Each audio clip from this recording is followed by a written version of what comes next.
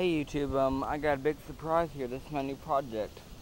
I was asking people if I should build a um, Monster Mower or a Pooler, and a couple people said Monster Mower, but I ran across this at the um, junkyard.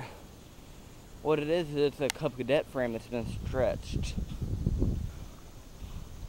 And um, they've already extended the, the steering shaft rod and the PTO shaft, which saves me a lot of time, so I thought I might as well get this. I got for 50 bucks, 50 bucks from the junkyard. So, and it had good oil on it when I had it. The gas tank's off it right now because, well, it's got some crud down in there.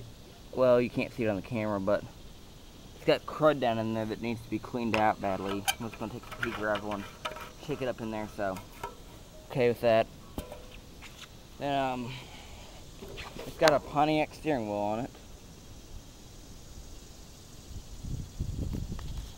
And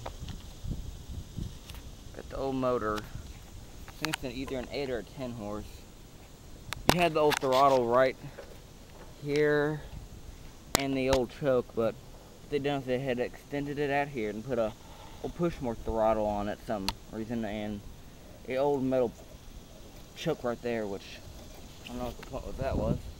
Then right there's the old clutch. That right here's the old clutch, but what they done they had to came out a rod back here and put a new clutch on it. So that's another thing that's kind of touchy about it and odd.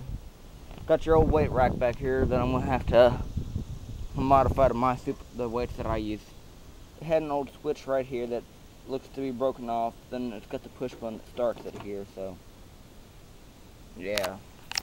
Most likely I'll put a V-twin on this and we're either running the stock V-twins, either run stock class or then I'll put, or I'll put super parts, super stock parts on the V-twin and run super stock or might put a V6 on this. I'm not sure yet. So just an idea. I'm just showing you this real fast and all that. So, so I'll show you that.